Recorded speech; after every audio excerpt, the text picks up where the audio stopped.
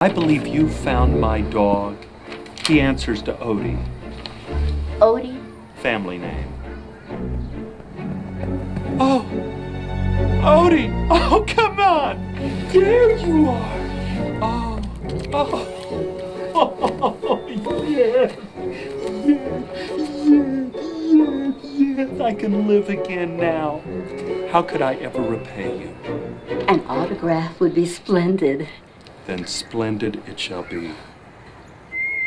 Hmm. Uh, no. Come on, boy. Prowl, little rascal. Mm.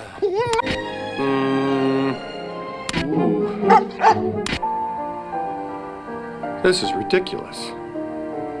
Hey, what are you looking at? Nothing. Just looking for some company. Keep walking, creepo. What's going on? We know how much you hated Odie. We know how much you wanted him gone. Wait a minute. All I wanted was to sleep in my own bed. And to do it, you cast Odie out into the cold, cruel world? We saw how you locked Odie outside last night. Oh, I don't believe you guys. I didn't know he was going to run away. He's a dumb dog. No offense, Luca. Uh, what? You can't blame me for that. Any one of us could be next. Yeah. There's no room for anybody else in Garfield's world. Huh? Oh, that's a little dramatic. Well, I may have been a little tough about protecting my turf, but uh, I don't hate the guy.